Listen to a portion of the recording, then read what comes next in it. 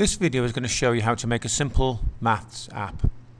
Um, it's going to be the project you're going to do and either you're going to do the, the nice simple version like this one or you might be doing a more complicated version with more um, things in it.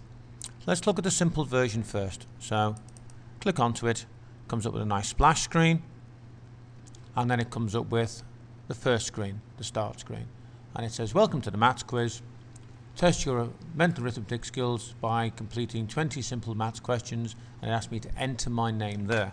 So I'm going to put my name in and then it says to tap here to continue. So click onto that and it comes onto the first one and it asks me what is 10 plus 5 and here I can write in the answer which I think is 15. Click on the button and it tells me that that's correct. Click OK and it puts in another question to which the answer also happens to be 15. So click on that, that's also correct. Now the next question, the answer is only 7, but I'm going to click yes anyway, so it tells me that that's wrong and that the right answer was 7. So I can keep going through these, so 16 and 13 I think. Until eventually I get up to the right number of questions. I've answered all the questions. And then it should take me, I'm just going to click clicking enter now. I know lots of these are wrong.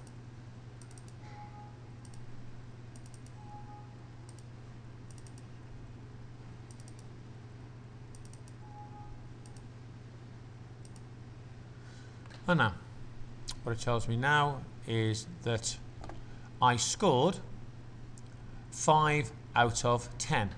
Okay, and it gives me the option if I want to of trying again. And it takes me back to the beginning. I'm here to continue and I can take the quiz all over again. So it's a simple little app which tests your mental arithmetic by giving you some questions, allows you to type in the answer.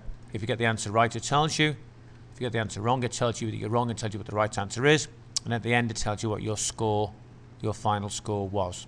So a simple, nice little maths app.